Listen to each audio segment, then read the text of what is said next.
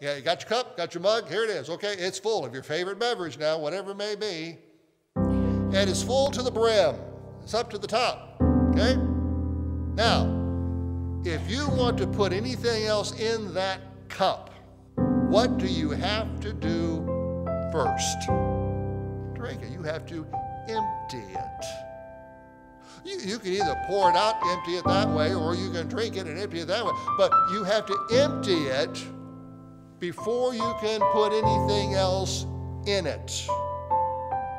Now think of your life as that cup.